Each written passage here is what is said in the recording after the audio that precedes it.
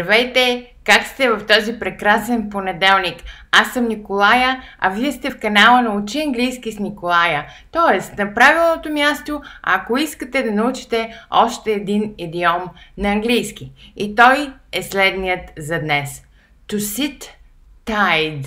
To sit tied неформално означава remain firmly in one's place или to stay where you are. Sit tight означава стой там, където си. А другото му значение е to refrain from taking action or changing one's mind – което означава да се въздържиш от някакво действие и да не взимаш никакви нови решения. Тоест, да не променяш нищо, да не предприемаш никакви действия. И ето ви и примера за днес.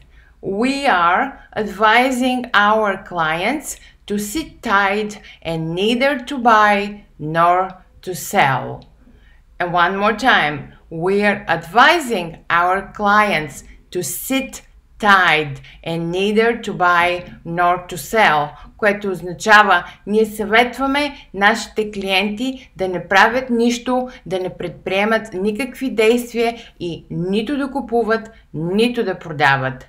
And now you have a beautiful day. Take care.